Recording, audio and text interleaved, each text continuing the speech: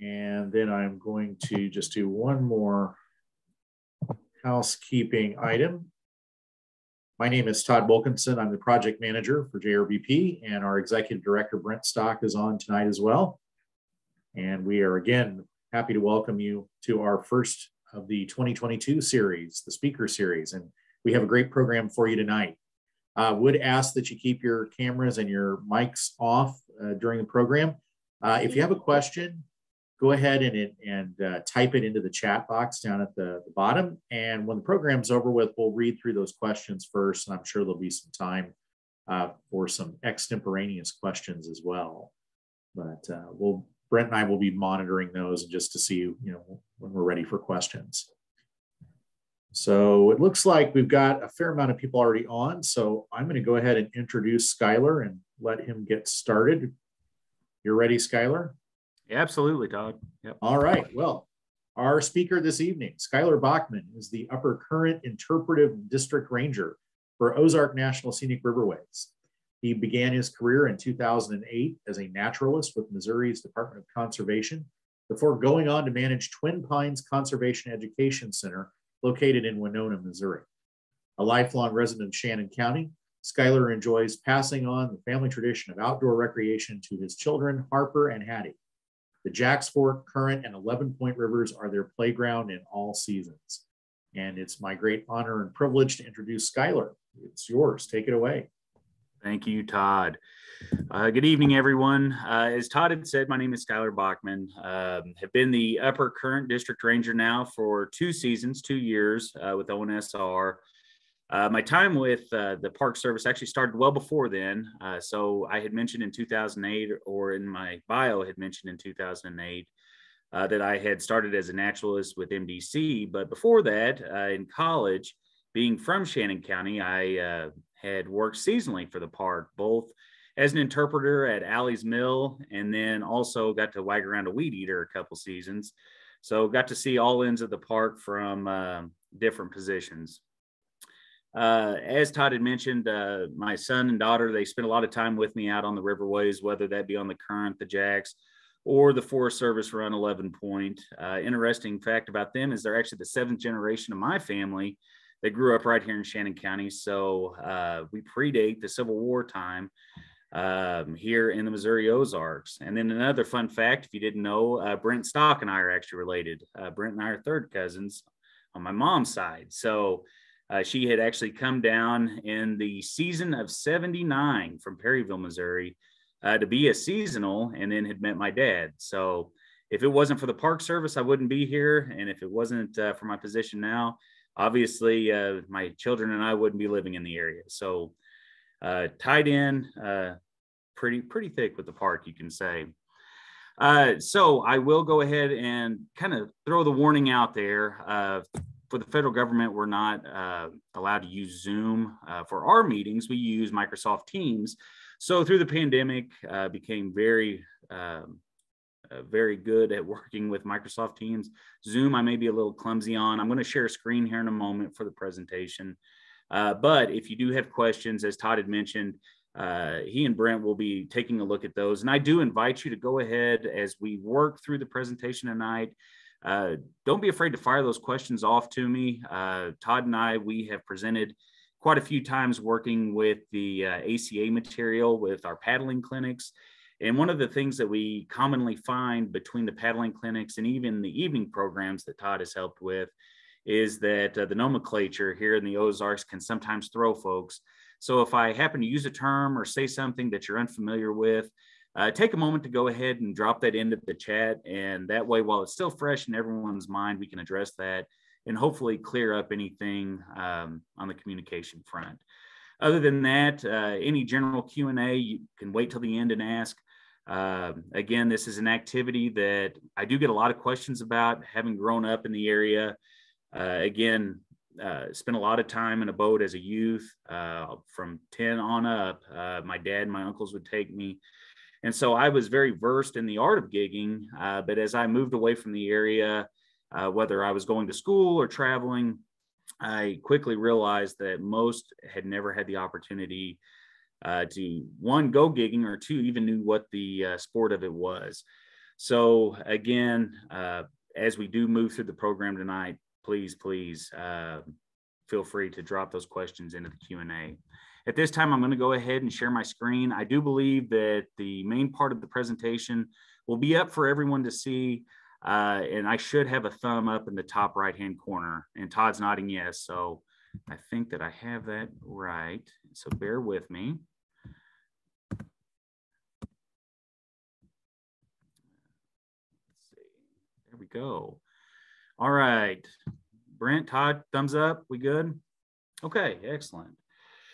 Okay, so uh, again, going back to the bio, uh, Todd had mentioned that I had started my uh, formal career or uh, full-time career, you should say, after school uh, with Missouri's Department of Conservation. We were having a conversation uh, before the presentation got started about the fundamental differences between the agencies.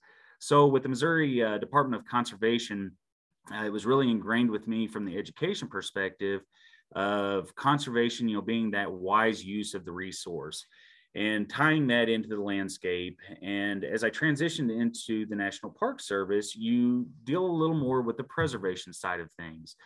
And so, with a national park being right here in South Central Missouri, one of the unique things about it is it's one of the few parks that you'll find across the nation that actually uh, marries the, concept of that cultural history, uh, that conservation, that wise use of the resource, along with the preservation. And so it's kind of a melting pot when it comes to national parks. And it's not really like any national park that you're going to find uh, anywhere else.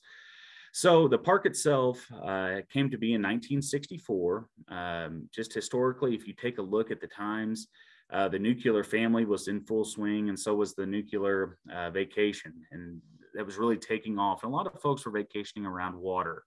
And at that time, it was a very popular concept to start damming up riverways.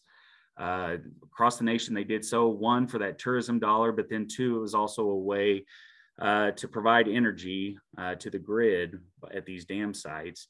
And the Current and Jacks Fork River um, were no exception. Uh, they were viewed, uh, there was plans in place to dam these two rivers up. And thankfully for us, uh, was one of those uh, where a group of interested individuals, um, the broad term was a group of businessmen out of St. Louis, but they came from all walks of life from various parts of the state and the region.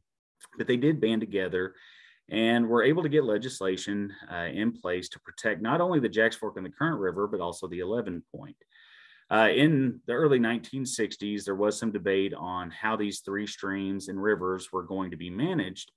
Uh, again, talking about different agencies having different mindsets, uh, the Forest Service had a very different background than the Park Service. Uh, so once the dust settled, the Forest Service ended up with the 11 Point River, and the current the Jacks Fork fell underneath uh, the National Park Service, and the Ozark National Riverway or Scenic Riverways was founded. So with the Current and Jacks Fork, we currently manage 134 miles between the two rivers, uh, approximately 88,000 acres.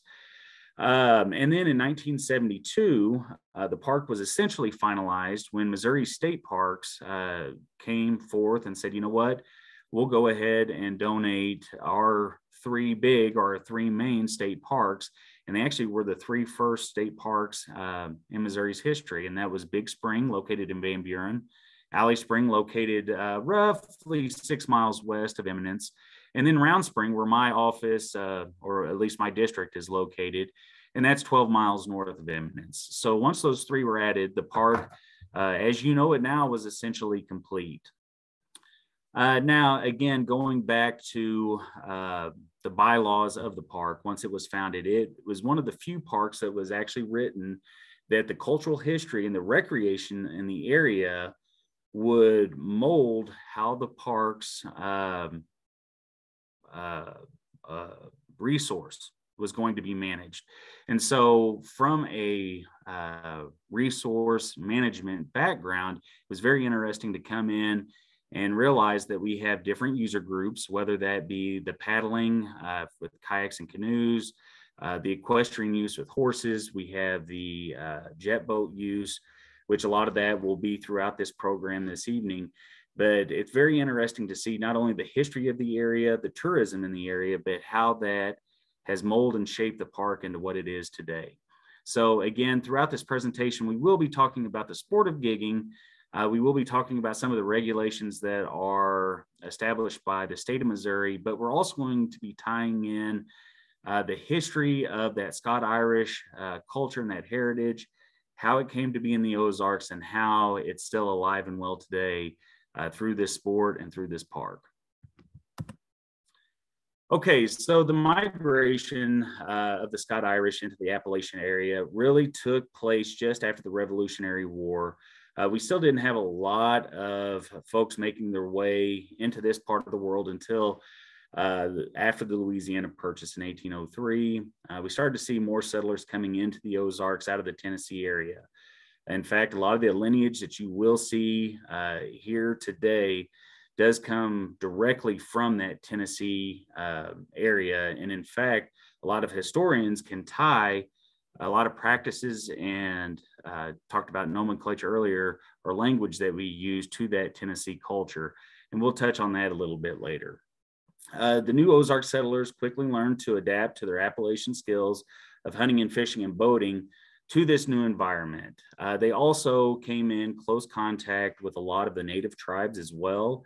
And it's very interesting to see uh, where the drop off of some of that Tennessee culture ended and where some of those uh, native cultures really started to have an impact uh, into these new settlers.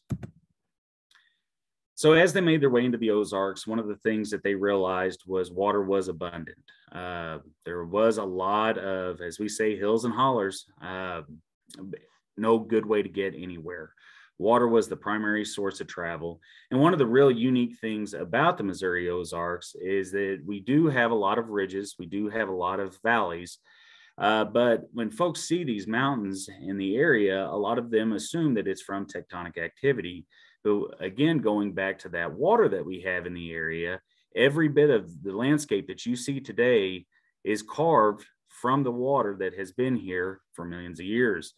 So when the settlers came in, they quickly realized that if they were going to get supplies from point A to point B, uh, again, going from a bottom or a river bottom up over a ridge top down to a river bottom again was not that effective. It was a lot easier just to float their supplies downriver and then pull their way back up.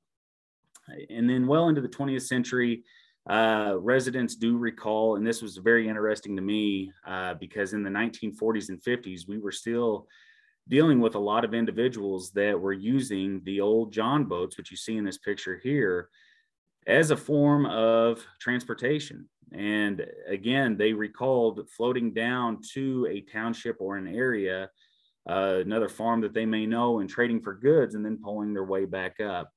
So a lot of these individuals base their entire life around that river network. So throughout these early slides that you'll see, uh, you will notice the flat-bottomed uh, John boats, as we call them. Uh, they got their name from an uh, individual out of the Doniphan area, um, one named John, but he had developed this flat style uh, wooden boat that was used to transport uh, goods up and down the river. And then on top of that, recreation was based out of it as well. Uh, these boats uh, early on were pretty, uh, they were always narrow, a little shorter, but as years went on, they saw the lengths of these boats uh, start to expand into that 26, 30 foot uh, long stretch. And if you think of 26 to 30 foot, um, again, typically whenever we're giving this program, I can get a show of hands. But uh, if any of you have been in a canoe, uh, typically you're dealing with anywhere from 16 to 17 foot, uh, usually not uh, much bigger. So if you're dealing with a 30 foot John boat, imagine two canoes, uh, bow to stern, bow to stern, essentially uh, in length. And that gives you an idea of just how long these boats were.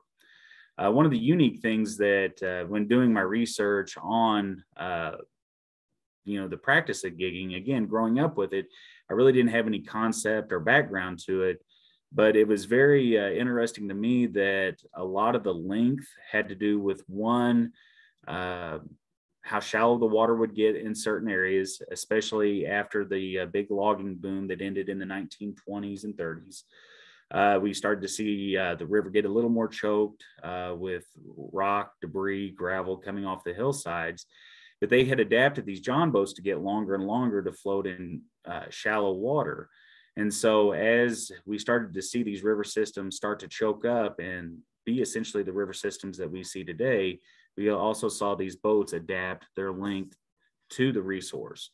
Another neat thing, too, was that the art of gigging uh, had started well before they had lights or had come up with the concept of gigging at night. And so they were bowing and spiking. Uh, and we'll get to that here in a little bit throughout the daylight hours. But uh, another thing that they had developed along with these longer boats was they learned that if they floated them down sideways, uh, they could cover more uh, area or volume of the river and harvest more fish. And so once they would get to the bottom of a hole, they would pull themselves back up, but then again would float down sideways so that they could cover more ground. So uh, this picture here is a prime example of a gig. Uh, most people are familiar with uh, the term frog gigging, or when they think of gigging, they think of frog gigging, I should say. Uh, fish gigging was something that uh, while they attribute it to early Appalachian culture, a lot of museums, um, a lot of historians in those regions, uh, even though they may have a sample uh, fish gig or a heavier gig that they called a throw gig, uh, they typically uh, didn't have any sort of background or see them in great volume. It wasn't until uh, a lot of those Tennessee natives at that point had moved into the Missouri Ozarks that we really started to see uh, the onset of these larger gigs coming into play. And they believe that a lot of that had to do with the interaction with the Delaware tribe. At that time, uh, the Delaware were known to uh, essentially use the bow and spike or the bow and arrow to harvest fish. Uh, and they believe that at that point, uh, the two um, backgrounds essentially kind of melted together and formed this new activity. And again, with the rivers at that time not being choked like they are today, uh, they believe that that's when the onset of the longer pole came into play to reach those deeper river levels. I've also talked to another historian that believed that uh, when they had used the rivers to transport ties, again, as I had mentioned earlier, they had used the river system not only uh, to get from point A to point B, but also to deliver goods. But they believed that uh, whenever they were moving ties up in, or down the rivers, that uh, the pike poles that were used to manage the tie rafts that were tied together uh, resembled a gig and a gig pole. Um, and they said that, you know, it's not outside the stretch of imagination that at that point they may not have started to attach gigs to those pike poles and using them. So while the history of gigging in the Ozarks is a little fuzzy. Uh, we do know that that transition from Tennessee to the Missouri Ozarks is when we started to see these larger gigs, kind of like what you're seeing in this photo here.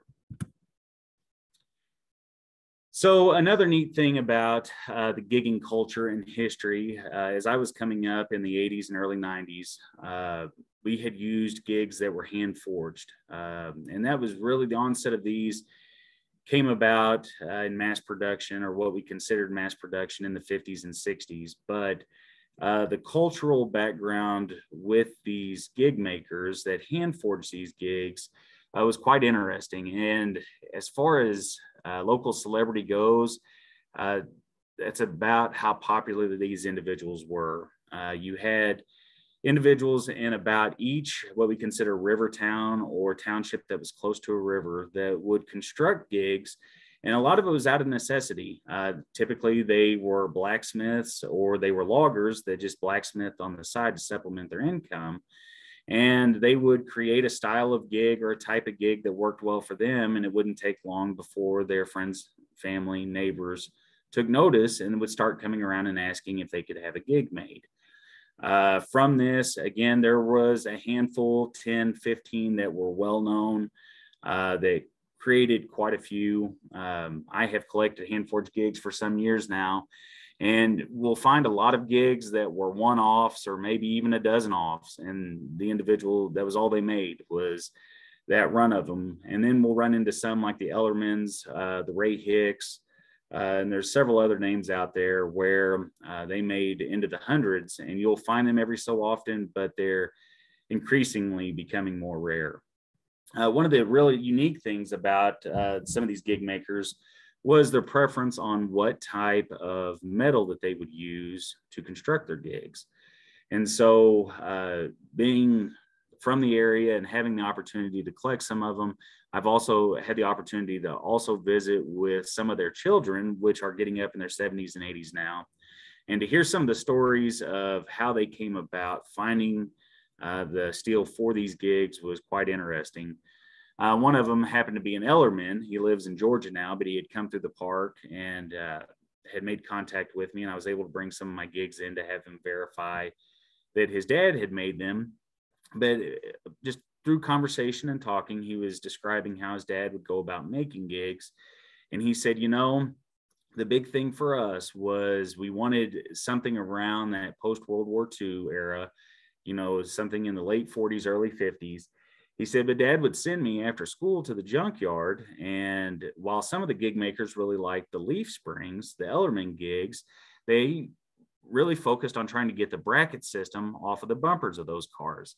They felt like once it was tempered that the steel was hard enough, yet it still had enough bend into it that if you were to hit one of the large chunk rocks that was in the water, your gig would bend, but it wouldn't break. And you could bend and kind of work it back into place. And that way, that gig was used for decades upon decades. Uh, again, as I had previously mentioned, other gig makers really focused on different parts of the car, such as the leaf springs. Uh, but very interesting to me how each gig maker tried to make not only their pattern their own, but even the type of metal they were using their own. So again, some of that neat history that uh, we're quickly losing in the area. Uh, we're very fortunate that there has been some uh, that history preserved, but again, it's an ongoing uh, an ongoing project for us. So as the uh, production of these uh, hand forged gigs took place 40s, 50s, and 60s, so did the different style of gigging progress. So one of the things we ran into at uh, this point was early on, uh, after that big timber boom from the 1880s into the 1920s, uh, majority of the softwood throughout the Missouri Ozarks was harvested, uh, that shortleaf pine, and it left a residual amount of stumps in place. And you had individuals that were going out and finding what they called uh, pine knots, and they were using these pine knots to splinter up and using that pine pitch uh, to start fires, but also to um, essentially light lanterns. But these lanterns weren't the white gas style that you see in this sketch here. These were baskets uh, called fire jacks or fire baskets. And they would put those pine knots in those baskets and they would try to get the fire itself anywhere from two to three foot, is what I've been told. But uh, they felt like that provided enough light uh, to see fish at night. And that's when we started to see that transition um, after the 1920s, again, whenever they had access to all of those pine root wads, to where they were starting to gig at night. Uh, again, in the 50s and 60s, once we started to see those gigs uh, make their, uh, and again, I use that term mass production lightly because they were still hand forged, but they're very similar patterns. Uh, they all look alike, uh, at least for the gig maker. Uh, but as we transition into that era, we started to see a lot of that white gas being used with the lanterns. Um, and then people continued on eventually into uh, using electric lights.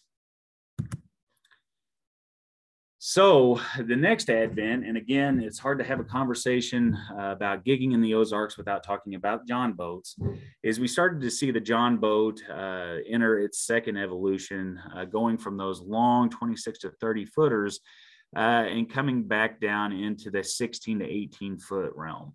Uh, when they did that, they also had brought in the prop motor and started using it. Now, again, we were still experiencing a lot of that runoff from the rock, uh, the debris from that logging boom.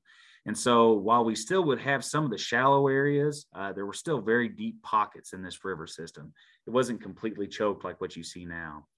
And so with that prop motor, they were able to put in a hole of water uh, with either their white gas or electric lights at this point. Then they would make their way up and down a hole of water, gigging fish. And if they found themselves a hole of water that was producing extremely well, they could stay there and work it back and forth all evening. Um, with that, uh, some of the modern advances, and we'll get to those here in a little bit, but uh, once the river systems really started to become shallow, uh, the prop motor disappeared. And in the 80s, we started to see the advent of the jet motor, which is more of an impeller style motor, uh, come into play. And that's currently what's used in the river system today. So, making a jump. Uh, for those of you that have not uh, seen a gigging setup up close or been paddling in the fall, uh, early winter, and possibly in the evening, uh, we do have quite a few that do that along the riverway. But if you have not, these are good images of kind of how things have evolved uh, today. Uh, the view that you have in the top left is going to be from the back of the boat looking forward. there are rails attached to the bow of most of these boats where lights are attached. And you will have two individuals that will stand up front with gig poles like they have previously used and gigs outfitted, and they could go upriver, downriver, uh, side to side, however they need to, uh, to best harvest fish. Uh, LED lights are kind of the newest craze. So uh, again, had mentioned that in the 80s and 90s when I was coming up, uh, electric lights were uh, really the cream of the crop. We would have them attached to a generator and uh, sit in the back next to either my dad or my uncle. So we worked our way up, but you know there was a lot of exhaust. I've often laughed and said that that's what's wrong with me today was breathing in all the exhaust from that generator. But anyhow, uh, they did provide a nice soft yellow light, uh, which allowed us to see fish extremely well. Uh, in today's world, uh, they have kind of come full circle. While the lighting system is better, uh, with the um, advent of these LED lights on the boats, we've been able to back off the generators, and so it's less invasive as far as noise pollution. And we can attach it to a deep cycle or essentially a car battery. A starter battery works just as well. But all you hear at this point now is the motor, which they have these jet motors have moved to what's called a four stroke uh, so they don't take mixed gas now. And so you have a quiet motor, you have lights that are powered by a battery. So when you think about those early days, whenever they had those pine pitch baskets and they were pulling their way down the river, how absolutely quiet that must have been. While we're not quite there, we're getting pretty darn close. And it's really neat now that you can have a conversation in a boat as you're gigging and really not have to raise your voice. So interesting to see where it's come to today. Uh, the next thing that we run into are the gigs. So as I had previously mentioned, I find uh, a lot of interest in these hand forged gigs. Uh, I think it's an art unto itself, and I've just really been drawn to them uh, throughout my life. And to see the transition into the new gigs where they are using CNC plasma cutters. Uh, these gigs uh, are much harder. Uh, they will not break, but they don't bend like the previous gigs did. Uh, they do stay sharp quite a bit longer, but again, these are CNC cut, and you'll typically find those at gas stations in the region selling anywhere from 65 to $100. And they're typically affixed to fiberglass insulated poles. So, uh, the poles that you'll see a lot from are a lot of times being used by electric co-op um, or linemen. These are the poles that we look for, and again, we'll any work them anywhere from 12 to 16 foot. Again, those 16 foot poles are uh, sought after still, but with that choked river system, with all the rock that's still coming into the Current and Jacks Fork rivers, uh, starting to notice people using 12 foot poles uh, just so they don't have that extra four foot of weight uh, slowing them down. Again, as I previously mentioned, the jet propelled motors are uh, a newer step, at least from the 80s. I consider them new. Um, and then finally, moving from that wooden John boat uh, that we had seen early on into aluminum welded boats. Uh, the next thing that really was uh, the big uh, evolution is how we eat suckers. So typically, as I had traveled across the US, uh, even across the pond, and was explaining this to folks, and they were asking what type of fish they were, I was explaining, you know, what a sucker fish was, being a rough bottom feeder. Uh, the thought of eating that to some just could not wrap their mind around. Uh, then again, they had never seen a river system like the current river, the Jacks Fork of the 11 Point, with such clear uh, water, such clean water. And so when you're describing a bottom feeder in these uh, resources like these rivers, uh, you're dealing with a very white fish, uh, very good eating fish. The only thing that you do run into with these rough fish are the small uh, bones that you will find.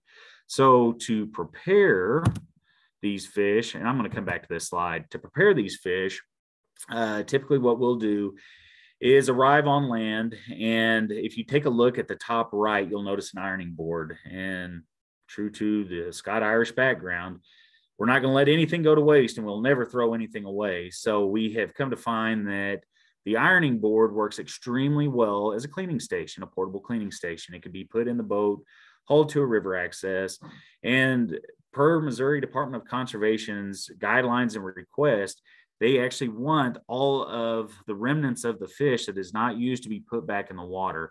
And sometimes it can be a little unsightly the next morning if folks are putting in at these boat accesses. And we have received complaints before where folks said, you know, can't they do something else with these fish? But uh, it goes right back into the system. Uh, we will have small critters such as raccoons come and eat on them while they're in the water. But the turtles and crawdads do a very, very good job of cleaning up, along with other fish species as well. So anyhow, the cleaning will eventually or will start here on this uh, ironing board where we scale the fish. From there, we will fillet the sides off. And then we run it through a scoring machine. So again, mentioning the 80s and early 90s, uh, I remember staying up extremely late uh, around these ironing boards that we used as cutting boards and taking a fillet knife and scoring down to the skin in roughly quarter inch size scores. And once you were done, you would toss it in cornmeal, which that's one thing about the Ozarks. We love everything fried and we like it in cornmeal but you would roll it around in cornmeal and you would deep fry it and those bones inside the fish fillet would crystallize and so you could eat it much like a fillet. Now the skin is still attached that's what's holding all the meat so to speak together but you have taken the scales off of it. Again extremely extremely uh, good tasting fish. Now let me back up uh, and say that the scoring machines my bottom bullet point here uh, so I'd mentioned standing around these ironing boards for hours on end, scoring those little uh, quarter inch score marks. Scoring machines have come in, and if you uh, think back to the old credit card swipe machines, that's essentially what a scoring machine is, where it has razor blades that are weighted down, and you'll lay your fish fillet down and run it over that fillet, and then push back, and it has scored your entire fillet of fish. So the whole process uh, has become much more streamlined, much more effective. Uh, it's become a common, common thing in today's world to brag about how fast you can gig your limit, clean, cook, be packed up and back to the house. And it's one of those things that uh, my dad and uncles have a great disdain for that. You know, they grew up uh, enjoying their time on the water, uh, staying out fairly late, uh, again, around a campfire visiting. And so the idea of speeding things up has really not taken to them. But I do have to say that a majority of giggers throughout the region have taken uh, taken hold of some of these new practices, whether it be the new gigs, the new lights, uh, the new style boats, or even the scoring machines. Now, species, I had kind of brushed over this slide. Uh, we had mentioned the rough fish. Uh, now, drum will fall in that, carp will fall in that, but you don't see those species uh, until you typically get to the lower ends of the Current River or the 11 point, closer to the white. Uh, the three main that we will typically see along the rivers that I gig are going to be the hog sucker, which is going to be your top left fish. You have your white sucker, uh, sometimes referred to as a sand sucker, but a majority of it folks will call it a white sucker. And then the bottom is going to be your red horse. Now, the interesting thing about this uh, fish species is while they are alike, they are very different in how they move and when they move. So the hog sucker, uh, they call them sleepers. A lot of folks will. Uh, hog mollies, there's several different names for them.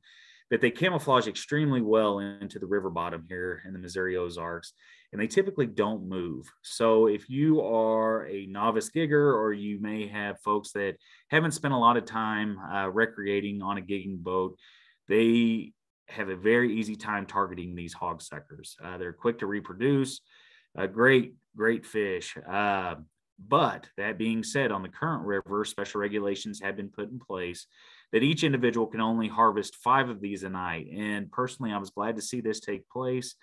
Um, again, with the uh, onset and advent of all of these um, uh, evolutions in gigging, we also see a lot more folks out there. Uh, boats are easily accessible. Uh, you have people that have never gigged before that are on the water. And so, with this abundance of individuals hitting the resource, I was very happy to see some active management take place, hoping to preserve some of the numbers. Now, the white sucker that you see on the top right, uh, very interesting, as they are typically more of a wild or what we consider a wild fish, meaning that if you have a full moon, uh, if the water's not extremely cold, they move very sporadically and frantically. So trying to gig them or gig a mess, as we call it, or uh, your limit of white suckers can be very tough and very daunting. Uh, but between those and the red horse, you will typically kind of have that mixed bag between the hog sucker, white sucker, and that red horse. I do get a lot of questions too uh, whenever I take novice giggers out and they say, you know, where should I hit the fish at? And so, you know, growing up, the younger folks or people that were new to the sport, uh, we were happy just to tell them just hit the fish we'll take care of the rest so you may have a gig mark you know behind the dorsal fin you may have one behind the head which is excellent because you preserved that entire fillet of fish at that moment but uh, the key to gigging fish when you think of water and these lights and the refraction of the water is to what we say aim for the lips or aim for the snout of the fish and typically at that point the gig will hit just right behind the head of the fish and again, as I previously mentioned, we'll preserve that entire fillet, which again, the goal at the end of the evening is to fillet these out and eat them. So uh, the more immaculate that you can keep that fillet, the better off you are. Now, going to this image, I know we had been at this slide previously, but if you take a look at that top left image, that is a prime example of where we hope folks will gig fish uh, when we take them out. As you can see, it leaves the rest of the fish um, unharmed uh, to where once we do take the sides off, uh, you have a nice fillet of fish to work with. Um, that being said, even if one does get hit in the middle, um, very easy to work around. And again, very, very little of the fish uh, ever makes its way back into the water. Now, uh, I do get questions at this point as well. I had a previous volunteer with Missouri's Department of Conservation that asked me, uh, you know, we strive for a quick harvest. Um, with that agency. You know, that is something we promote through the hunter education programs, uh, through fishing. That you know, we never want any wildlife to suffer, uh, no wanton waste. And his question was, you know, when these fish are gigged, uh, is there any thought to, you know, do they suffer? And uh, the direct hit that they receive through their column uh, or head, their spinal column or head, uh, majority will be dead before they hit the boat. So we do like to pass that information along, just so folks don't think that uh, you know this is too barbaric of a practice. All right, now getting into regulations a little further. Uh, very interesting. Whenever I was putting this slideshow together, I had reached out to our archives with uh, the Park Service, and I said, I know that you're not going to have much on fish gigging, but anything you could pull from the Missouri Ozarks on gigging, can you please send it to me? well, this was the photo that I got, the only one that I got. And part of me had to start laughing at this point, uh, simply because, as you could tell from their attire, this predates 1930s. Um, and if anybody did not know this, uh, the Department of Conservation was founded in roughly 1936, or the Conservation Commission was loosely. And at that time, uh, it was just a free for all. Uh, you could get mixed bags, you could gig whatever fish you saw. Again, this was more for uh, subsistence than it was for sustainability. And so, if you take a look at the pole that they're holding up, the first thing I noticed was the large, large mouth. kind of off to uh, the right side of the image. But if you look close enough, you can also see frog legs hanging down. It looks to be a brim or a perch right next to it. So definitely a mixed bag of fish here. Uh, but again, it was very interesting to see uh, the four prong gig during this era. And again, going back to that transition from uh, you know the John boats uh, from the gigging or the bowing and spiking where they were using one or two prong into that four prong. So this is probably one of the earliest photographs I have ever seen with a four prong gig, which is very interesting to me. Another neat thing uh, while doing research and going through the articles on regulations was the history of the regulations on gigging. And going back again to the 30s, uh, if you think trout have been in the Ozarks, uh, there's some debate on when they were introduced, but some folks do view trout as an invasive species within the Ozarks, uh, even though they're still uh, stocked to this day. But they were a great uh, tourism draw. And in the 30s and 40s, whenever the Conservation Commission uh, was pulled together, you were dealing with a lot of individuals uh, from the two big areas of the state, St. Louis and Kansas City, that would vacation down to the Ozarks but did not stay in the Ozarks. So whenever they vacationed, they were coming in to trout fish. Uh, that was a big draw. And so they were starting to notice that the trout that were in these riverways were being harvested by the Scott Irish giggers. And so a petition went out to ban gigging altogether. And here in Shannon County, in Reynolds County, the neighboring county, they pulled together and a group of citizens uh, met in Jefferson City, uh, spoke with the commission, worked it over to where they said, all right, when would it be advantageous to the trout fishermen that we gig? And the trout fishermen came back and said, you know what? Give them the last three months of the year. So that's where October, November, and December came into play. Now, since then, you know, we've kind of squeaked our way into September a little bit. So uh, bow season opener is September 15th and gigging season is the same day, that evening. And then it was uh, at one point ending on January 31st, but in the last, I guess it would have been three years, four years, excuse me. I was still with uh, the Department of Conservation. They transitioned it to February 15th. And really to see how this has come full circle and what I got a big chuckle at knowing the history of this was that with gigging gaining popularity and ground, the extra two weeks was pitched as extra tourism for the area. They were able to bring in people from outside the area who were coming in to gig for another two weeks. So again, tourism was the beginning of the Ozarks, and we're still right there in the threshold of it.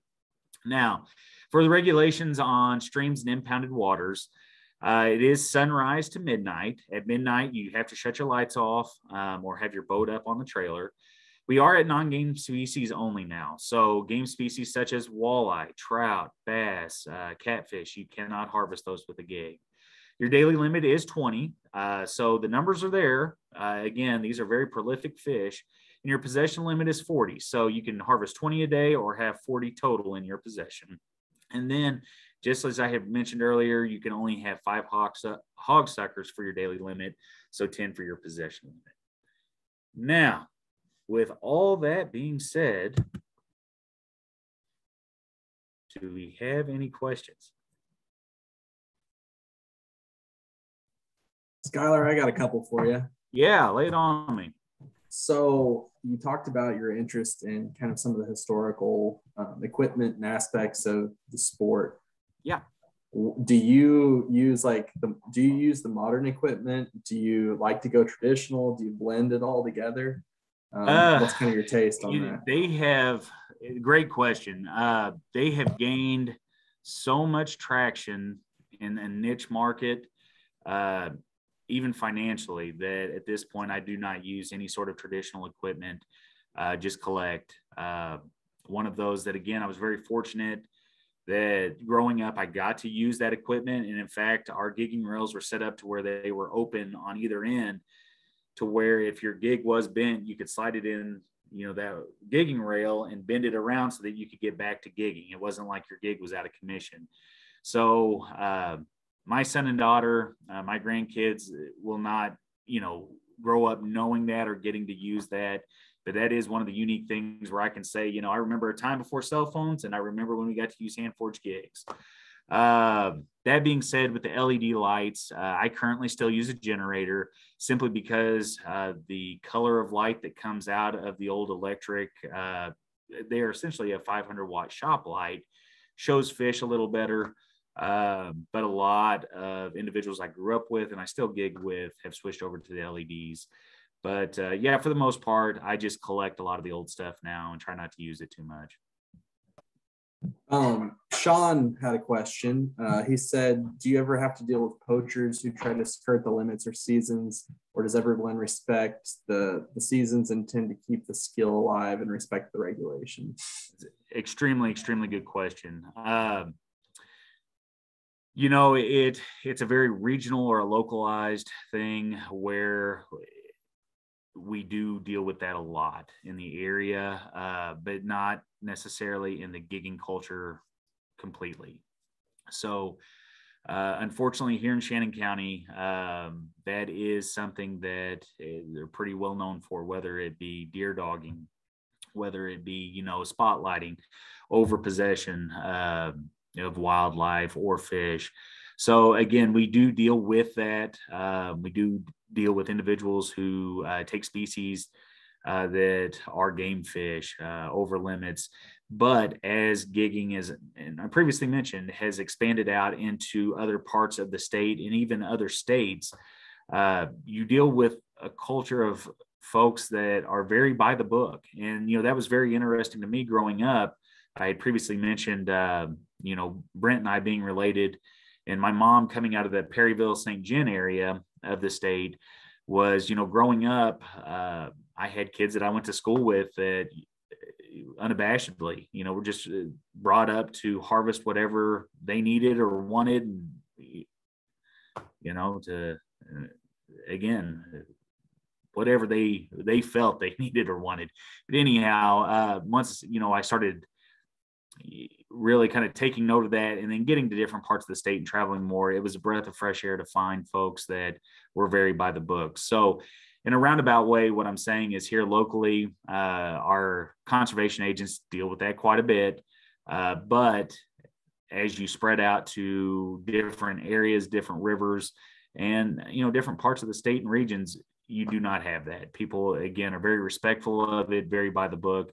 And again uh, you know with any any sort of activity. A few bad apples can, you know, kind of ruin it for everyone. So uh, again, it's very good to see uh, as the sport of gigging grows, you know, people respect those limits and those uh, regulations. So I got another question for you. Yeah. Um, you know, you showed the three main species of sucker that you guys are uh, pursuing. Yeah. Um, out of those three, is there a taste preference? Like, do they rank in a certain order for you guys, or do they all taste the same? And they're about the same. Type of, uh, yeah. Scoring differ, you know, between the species. Yeah, the uh, the hog suckers will tend to, uh, and again, just in our terms, have a little more meat on the shoulders, be a thicker fish. Uh, so the fillets will be, you know, a little meatier. But again, you know, we have found several red horse and several, you know, yellow suckers of, you know, great size. Um, but again, as far as taste goes, uh, once they are rolled in cornmeal and put in the grease, they're all about the same. It, it's the best fish I've ever had. Uh, fried fish, anyway. I mean, yeah, I was going to say, good now, Todd, fish. you've had the opportunity to go out with uh, Rick Mansfield, one of the uh, yes. partners, correct? Yeah, I believe you. I thought you had. So, yeah, we we he actually uh, came after our kayak instructor class mm-hmm. in 2020, the fall of 2020, and so he took anybody who wanted to go out on his John boat and gig. And then there were four or five people that were staying at the uh, the group campground, the middle landing there at Round Spring, and they were frying the suckers right there. And we had fried potatoes and suckers and coleslaw and beer, and it, oh, it was yeah. just outstanding. Just a great evening. The whole kit and caboodle. Yeah, no, Rick is a great ambassador for the area, and you know, with him doing that uh, as you can probably imagine through uh, the presentation tonight and the conversation we're having, that uh, this is not a a cheap sport. Uh, it's not a cheap activity, and to get involved with it, uh, it's almost kind of an exclusive club where you have to receive an invite from somebody just to, so to speak, dip your toe in the water and see if it's something you're even going to enjoy before you start investing this money into these, you know, gigging setups and outfits. And so, you know, Rick is a prime example of an individual uh, that is a true Ozarkian through and through and willing to invite anyone and everybody, uh, you know, out to do these activities uh, just to share what it is. And again, if you have an opportunity or an invite is extended to anybody, you know, in this uh, in this room tonight, please, please be sure to take it kind of an interesting story about Rick really quick. You were talking about your connection to yeah. to Brent. Uh, Rick knows my uh, fiance mother, Catherine, very well because Catherine grew up in Ellington. And yes. Yeah. She grew up in Ellington too. And so we were over at the log yard this summer and Rick had just done his stream team cleanup there at the log yard. And come to find out, there was a gentleman there that remember Jen's father and grandfather, and her grandfather was John Boat Builder there in Ellington for years and years. Yeah. And Jen yeah. talks about eating sucker not for fun, but because it was the only thing they could put on the table. Oh yeah, yeah, very much so. And yeah, again, it's very interesting to get into these areas and parts. Uh, you know, Shannon County is listed as, I believe, it was the third largest in land mass uh, with one of the smallest uh, and most poverty stricken populations. But uh, yeah, right now the county sits at about 6,000 people. So yeah, it's a small world. And when we start, uh, you know, talking about folks, you may not know an individual specifically, but you at least know someone that they know. And so, yeah, Todd, you know, with your tie into the area, especially at Ellington, you know, a lot of familiar names and faces for sure. So, um, Skyler had talked a little bit about the John boats and kind of the culture around that and tourism. Um, one thing that we did a presentation on last year, um, and we've talked about this in some of our ecotourism programs and that type of thing, is um, the the John boat culture and the the river guiding services that Jim Owen provided on the White River and the James, um, even up into the Finley, um, Kings, all those rivers, kind of on our end of the uh, state. Um, so was there any big differences that you know of between the John boats that they were running on the Current and Jack's Fork and 11 Point versus what they were running a little further west? Um, I know that there was some crossover between some of the boat builders and mm-hmm. uh, that type of thing, just kind of based on my research. But was there any major differences? Not that I know of, but uh, going back, you know, and really kind of highlighting the differences of the gigs uh, you know, as you move from one area to the next, and what I really find fascinating about this generation uh, that had really jumped into the gig building and the John Boat uh, building was that they didn't do it for style. They didn't do it, um, you know, for any other reason than functionality. So, you know, they may find something that worked in one region and they may bring that to their part of the world but it did not take long before they adapted it to fit their needs. And uh, again, if there was a big difference between this region and that region's uh, John boats, it was simply out of necessity. You know, it was something that they found, uh, you know, highly important to them. And again, with uh, and I turned, I apologize. I the name had slipped me through the presentation but uh, the individual, and you will see if you go back through some of the old archives with uh, Missouri's uh, Missouri uh, or MDC's Conservationist magazine, uh, I believe that they had had an article on Cecil Murray, who was down in the Doniphan area, had done uh, a lot of jet boat or jet boat building, these John boat builds, but his great great uncle was John Murray. And so that's where the name John Boat had come from. But again, uh, if you could get into those, uh, the state of Missouri archives and go through some of those articles, uh, it's a, uh, at least for me was one of those uh, rabbit trails that I found myself, you know, on about a week long, you know, just kind of following and reading and poking along. And again, uh, as I kind of bring this full circle, one of the things that I mentioned at the beginning was it was extremely interesting to me that with the national park, coming into play, you know, you were taking not only the history of the area, but the cultural history of the area and tying it into the resource. But as I have moved through my career as an educator in the area, not only being born and raised, but you know things that I had seen are cultural uh, uh, ideas or practices, you know, that have been in play for uh, generations. You know, being able to take a look even from like the 1880s to 1920s with that logging boom in the area, you know, how it uh, transitioned, you know, the softwoods into the hardwoods in here in Missouri and how we, you know, watched the deer and turkey population suffer one from lack of regulations, but two, they had different food sources to it, you know, causing the river systems to choke up to how we, you know, built boats, how we, you know, utilized the resource, whether it was using gigs or, you know fishing techniques to extract from the rivers again it all melds itself together here in the Ozarks and the further you dive into it the more research you do you realize that every bit of it along with these agencies is intertwined and it's pretty neat to see over time um, so Skyler had, you know, he's mentioned multiple times about the rivers filling in with gravel. Um, and some of you guys are probably aware of this, but you know, with the logging boom, and the conversion of some of our um, you know land use practices changing. Um, we saw a lot of erosion take place on kind of the uplands and that's really um, filled in a lot of the deep holes that were traditionally in our Ozark streams. We see we see the same thing um, in kind of the western corner of the state. Um, if you guys are interested about kind of some of this time period one cool book that Todd and Loring Bullard turned me on to is Stars Upstream. Um, it's a great book about uh, the Current Jacks Fork. I'd recommend trying to find a copy of that. It's a really neat book to kind of learn about some of the history of this region.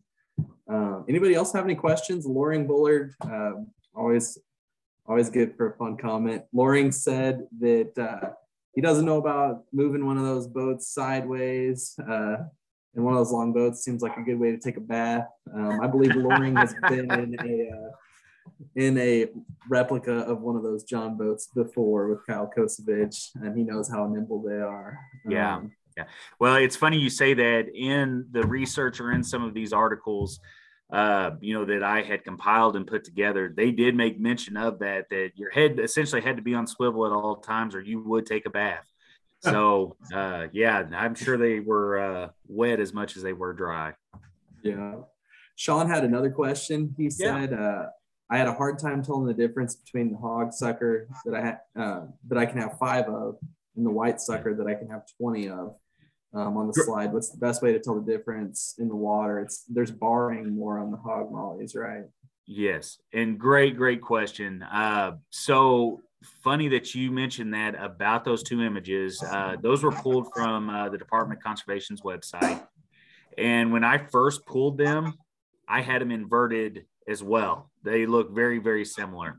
I will say that if you have the opportunity to get out and view the two um, underneath light at night, starkly different. The shape of them, uh, your hog sucker is going to have a bigger head and come down at a sharper V. I've always said that if you've ever had an aerial shot of a shark swimming in water in the ocean, that's how a hog sucker will move. Same with the yellow sucker, but they have those distinctive bands on the side. The hog suckers do. The yellow suckers, you won't see that ribbing or those bands.